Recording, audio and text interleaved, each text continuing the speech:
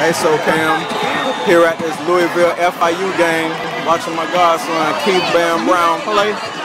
Here, take a good peek.